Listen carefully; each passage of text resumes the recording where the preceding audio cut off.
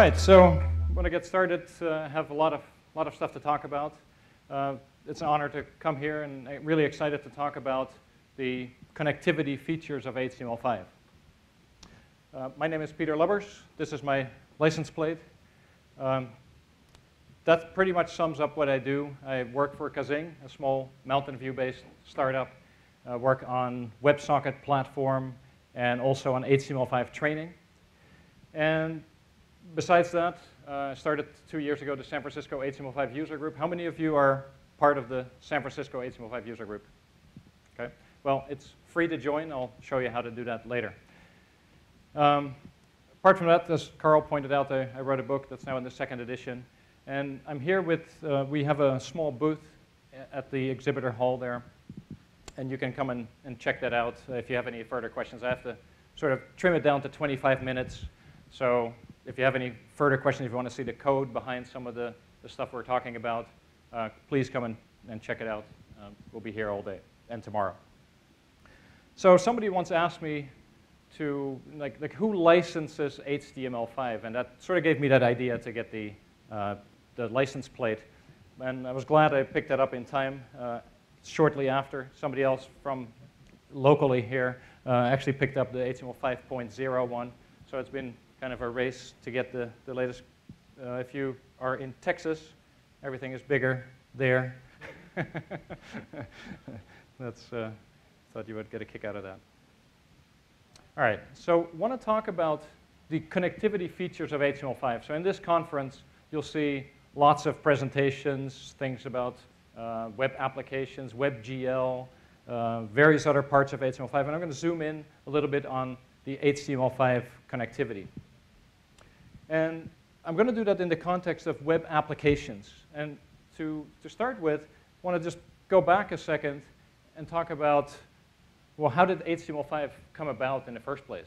And it was actually in 2004, not far from here, there was a W3C meeting in which the, there was a, the topic was whether HTML should be augmented for web applications. And it was actually voted down, as you can see a 14 to 8 vote against improving HTML for web applications. And so promptly two days later, the Web Hypertext Application Technology Working Group was started. And they started working on a specification called Web Applications 1.0, which became HTML5. So you can see that application development is, much, is very much the core of HTML5.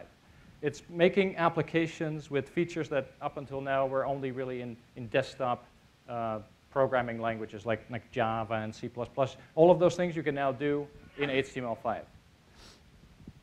HTML5 can be broken up into different feature categories. There's these different areas, and some of it is uh, you can debate uh, for quite a while whether it's pure part of HTML5 or not. We're not going to get into that. But I'm talking a little bit about it in a, in a larger umbrella term of HTML5, including all of the things like WebGL and geolocation, what we typically refer to as the NEWT category or new and exciting web technologies. If you zoom in on that, you'll see that each of these areas has seen an explosion in growth. And I'm going to post these slides. Uh, the, they'll be posted on the, on the DevCon5. All of the presentations are going to be there. So you'll see this may be a little bit hard to see in the back. But each of these areas, if you look, for example, at local storage uh, or uh, caching and, and storage, there's uh, you know, multiple APIs for local storage. There's uh, a new cache altogether. So all of that stuff has seen just an enormous growth. And with those features, you can really start building cool applications. Now, these features can be used today. And the first thing you want to do with that is uh, actually of course, finish this, present, this conference, uh, all the sessions, but then after that you can go back to work and really start building HTML5 applications. It's ready to be done today, right? You can first of all go to caniuse.com or uh, mobilehtml5.org to see where specific features are supported. And you'll see the modern browsers support over 75% of all these features already. But then there are also the ways to make those features work. So for almost every feature, there is a way to make it work in older browsers if you need to support those. And that's pretty typical. And Modernizr is a tool that can help you with that, and they have an incredible fallbacks page that has literally hundreds of fallbacks. So there's really no reason to say, well, HTML5 is not ready yet, we can't use it. And things that are as complex as WebSocket, that we'll talk about later, have been emulated in pure JavaScript, so you can actually use it. So none of the features I'm going to talk about are, are far future. They're, they're really here today. Now, HTML5, one of the design goals is that it, what they say, paves the cow paths. That means it makes it easier to do things you're already trying to do. A good example of it would be the rounded corner, the border radius property in CSS3, where before you had to use images to create rounded corners, and now you can simply say border radius 10 pixel, and now you've got it. You'd be basically say, saying, browser, you know how to do this, take care of that for me. And that's very similar, and, and I would say one of the biggest areas where cow paths had to be paved uh, was the connectivity area. Things like common technologies and uh, figuring out how to get around the same origin policy in a browser, pretty hard. Um, if you look at the overall HTML5 connectivity features, you can see that there are a lot of things going on. And the entire connectivity and real-time area, by the way, is a pretty invisible thing. There's, there's nothing visual until you, for example, take the data that you get into the page and display it in a canvas, things like that. But you can see that inside a page, so the first, first myth about all of this is that we're going to be serving pages over WebSocket. That's, that's not going to happen.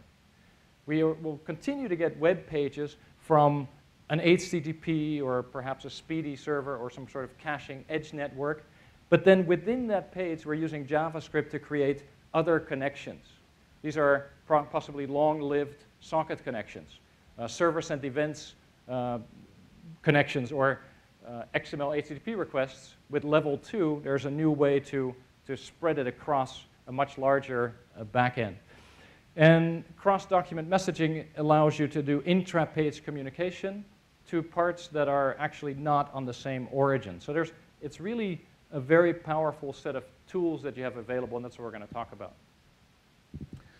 Now, you might say, well, what are you talking about? All of that stuff that you just showed me, I could already do. And I would agree with that, that it's possible, but this is one of those things where HTML5 makes it easier. It paves that cow path. It says, all right, it was very hard to create, let's say, a bidirectional what looks like a socket connection where you can send and receive at the same time. Sure, it's possible with techniques like Comet. Uh, you can kind of see that the name, you know, you need Comet to spell complexity. It, if you've worked with that stuff, it's really, uh, really hard to make it work. And now the, the APIs are ridiculously simple. It's a, it's a great way to to move forward. And then with these fallback libraries I talked about that are on the Modernizr page, you can actually make these things work and, and not worry too much about it. Code against the HTML5 APIs and not worry about um, you know, the, the back, falling back. All right, so again, to come back a moment to the application parts of it, in a traditional architecture, because you're so constrained, you're constrained by the same origin policy. You're constrained by um, a variety of factors, it was just easier to build everything on the server side and just push it out and, and then make incremental updates, maybe pull the server for incremental updates in your, in your web application. And, these, and that's why application servers became so big, because they basically translated all of the stuff that the web application wanted to do for the poor little browser that was unable to do all the things that a desktop application could do. And so what I'm talking about today is, is, is also, it's not just a bunch of features, and, and sure, that's cool, and I can tell you a lot more about those features and the exact code snippets you might need to, to build things with it. But it's also a new kind of architecture altogether, in which you do a lot more on the client side. And it doesn't mean everything, and it doesn't mean your business logic is going to reside on the, on the client side now, but you have powerful graphics, you have local and offline capabilities, you have device access, you have socket and other connectivity, And if you start taking advantage of a, just a few of those things, then you can build applications that are not just on par, but in a way even better than desktop applications. All right, I'm going to come back to this uh, in a little bit. And I want to start with the, the smallest of those four features that I talked about, and that is cross-document messaging. It's a simple API that allows you, it's called the Post Message API, that allows you to send messages. It's sort of an intra-browser communication API. You can use Post Message to send a message to, for example, content that is on an iframe on your same page. And you may know that a lot of the social, the third-party social networking widgets that you pull on a page, Facebook like buttons and so on, they all use iframes. And it's actually quite hard to communicate to an iframe from the main page if that main page uh, or if that iframe content is coming from a different origin. An origin is defined as the scheme, host, and port combination. So with that, with that the browser locks things down. It is the same origin policy, but that, that, that policy was, that's as old as the, the, it goes back to almost the very first browsers. It, we've sort of outgrown that, right? We need more connectivity to, to backends that are not on the same origin. We can't put everything on the same server. And so having this way to communicate to other, uh, other areas on the page, yet at the same time allowing to lock it down using origin-based security is this new feature. And you do that by using the post message API and then listening for messages. Now the next feature I want to talk about is the XML HTTP request that you could say is the AJAX API. You can make AJAX requests that's been around for a long time. But in HTML5, it's updated. It's called XML HTTP request level 2. And there are a couple of features. You can send binary data now. You can also track the progress better. But the most uh, revolutionary part of it is that you can now make cross-domain XML HTTP requests. And that's very powerful because you can make backend connections to what previously had to be put behind an application, let's say some sort of portal server that aggregated all the content and sent it out with this, from the same origin. Now you can actually say, all right, I make a backend connection for one source and another eh, just by myself. Like I don't need to go through that. And there's a separate standard uh, that's called cross-origin resource sharing that is applied, and it's basically a server protection feature where once you start opening it up, it's very powerful. But of course, the first question is like, well, how is that going to be secure? You may have used things like JSON-P, which is very, uh, a very, it opens you up for a lot of vulnerabilities because you're basically running script from a remote source. That's the only way you could get around this in the past. And so now it is possible to do that in an elegant way. And there's a CORS specification. Effectively, that way, the way that it works is with uh, HTTP headers your browser that's capable uh, sends an origin header. The server has a list of, like a white list of allowed origins that it allows access to its services from. Server sent events is another API that is, um, think of it as a one-way stream of data. It's a formalization of what a lot of people uh, would call COMET, uh, uh sort of a server-side push. But now it's, an, it's called the event source API. You create an event source API object. You listen for messages. There are a few other things you can do. In about five lines of code, and I can show you that in, the, in our booth, you can create a, a client that, very, that asynchronously listens for messages. And the only downside of this is that you can't, at the same time, talk back. For that, you would need WebSocket that we're going to discuss in a little bit more detail. So it's imagine you create a connection to a server-sent event server, and you then start listening for messages. This is great for broadcast news feeds, taking maybe UDP backend data sources and pushing them out to the, to the web in a very standardized way over HTTP. The next feature, and that, that's the one we'll take a little bit more time on, is, is WebSocket. And WebSocket is a new API defined by the W3C, but it's also a brand new protocol. That's really the, the powerful new thing. It's no longer using that, the, the restrictions, it doesn't, the restrictions of HTTP don't apply to it anymore. It really allows a browser now to open effectively a socket connection to a backend server. If you have a desktop application, you want to, to talk to a chat server, you don't first send that desktop Java client through an application server to then talk on your behalf to a chat server. You talk directly to it. You open a port and you connect.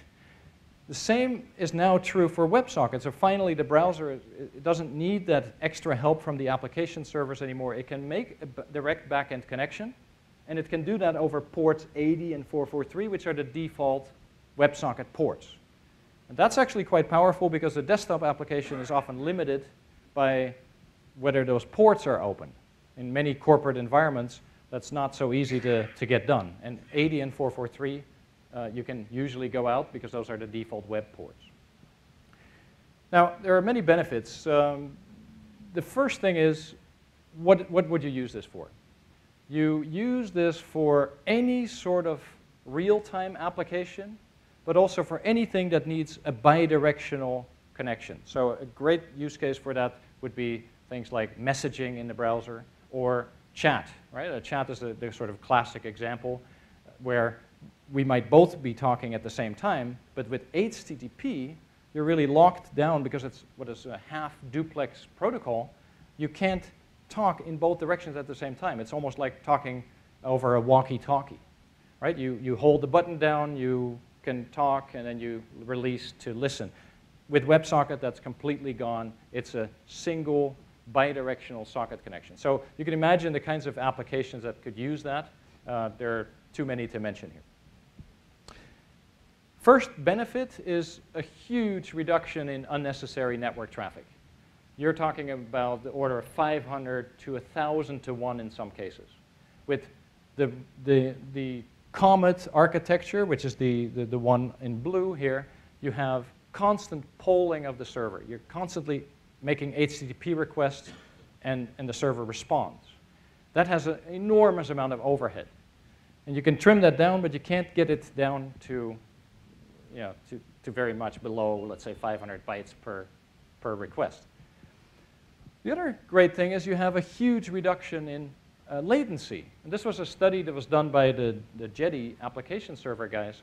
And it shows that the latency at scale is reduced by like an order of magnitude because on the left side is the, the um, latency measured in 100 millisecond bands. On the right side is the comparison with WebSocket, and I urge you to take a look at this offline.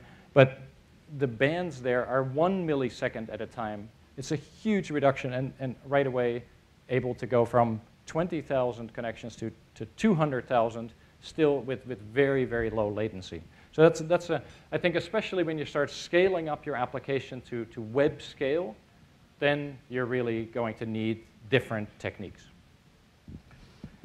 And there are already, so all the browsers support it, but there are already a ton of WebSocket servers. And this, this, I just recently said, okay, let's, let's make a list of all of them. And it, uh, it took a while. As you can see, there's a, just a, an enormous amount of stuff out there. And these are all anywhere from an experimental project to a production-ready server. Uh, so you can see all the browsers support it. There's a ton of server support. It's really ready to use today. But we haven't talked about the most important benefit yet, and that's really extending WebSocket. The WebSocket is kind of like TCP. Okay, you have the communication pipe. Uh, what do you do with it? Now, on TCP, you would, you would very quickly write, uh, use some sort of protocol libraries. And the ability to layer higher level protocols is really the, the aim of WebSocket. So you can use, for example, an XMPP JavaScript library to speak XMPP or the Jabber or chat protocol. Similarly, you can use it to, to talk about uh, pub-sub protocols like STOMP and AMQP. Also, the VNC protocol, which would be like the remote desktop protocol.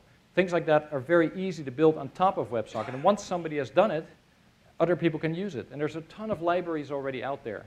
Uh, a lot of open source stuff like XMPP client libraries and STOMP client library projects. It's kind of like, and later on you may go to some Canvas talks. You're probably, it's unlikely that you'll be using direct JavaScript calls for Canvas as well. You might do like move to and line to and stroke, and then you've drawn one little line. And that's not going to help you speed up the game development that you might be all about. So you would use physics engines. You would use additional things off the shelf to, to build your applications. That's what basically th this is about. Uh, you, you can layer higher level protocols on top of WebSocket, and that's where the real power comes in. You can see it actually in the core protocol.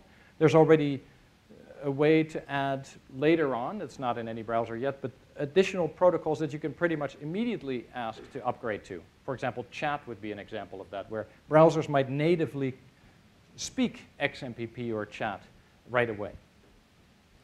okay. So,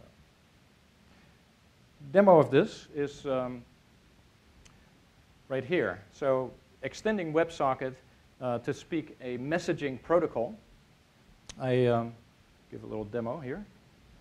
So insert the quick ritual dance to the demo gods here. and all right, so this is my iPhone. I'm actually controlling the slides. This is um, a little project that Peter Moskovits from Kaazing put together, where I'm not sure if you're familiar with Prezi. That's a Flash-based presentation tool. Somebody else said, well, we can do that in HTML5. They created Impress.js. And then Peter created what we call Presso, which is an extension to that where you can control it using WebSockets. So if you go to that URL, you can view it. Did you, were you able to see it? So you can, you can view it, and uh, I can control it, and basically swipe my finger across it, and Peter's viewing it. So that's the viewer. I'm actually, this entire presentation was done using HTML5, Impress.js, Presso, using WebSocket. Sorry? Yeah, yeah, right. For good effects, right. And I'm basically controlling that with my iPhone. So using WebSocket with a higher level protocol, in this case, it's like this STOMP. It's a publish and subscribe protocol. I'm actually not just using raw WebSocket, I'm actually using a higher level library. It says connect to a message broker that, that you know, has all the a specific topic that I can subscribe to. And we can show you much more about the, the lower level details of this uh, in our booth. But just a good example of the kinds of things you can do uh, especially when you start getting device access. For example, I could also, on an iPhone, uh, easily grab the, um, the device orientation coordinates, and we, we created a little app with that. The, um, the one we'll show you later is the, uh, the race card we have going in our booth, which is taking the device orientation coordinates and uh, transferring them. Okay. All right. One other quick demo I wanted to show you is um, this one here. This is an example of uh, HTML5 in action. You have uh, WebSocket data coming in on the bottom there at the 100 messages per second. That's something you could simply just not do with the Comet or old techniques for, that are based on HTTP. On the left here, you have a Canvas implementation. So these are two Canvas graphs uh, using the rgraph library to, to plot the graph uh, for gold and silver prices. Then I have things like drag and drop that I can use, and I can buy and sell. And then on the bottom here, there's like a server-sent events client that gets news data uh, streaming into the page. So all of that possible courtesy of some of these new communication techniques. And then combining it again with other HTML5 APIs is really where the power is, right? The, the connectivity features we talked about, they just give you sort of the, the raw data coming into your page in a, in a very standard and, and efficient way. But now you need to do something with it, and that's where you can use these other APIs, the, the other um, HTML5 APIs. All right, so I think I'm already pretty close to running out of time. Let me just uh, quickly throw this in there. I, will take the questions offline, but um, for all of you, uh, if you're interested in the book, actually this coupon code that is here and I'll tweet it out as well, is actually good for any Apress ebook. Of course, you should buy this one, but um, it's actually good for any Apress book this whole month. And um, a couple of additional resources. I will make the PowerPoint available in, um, at, on the DevCon5 website. And that's basically it. Thank you. Bye.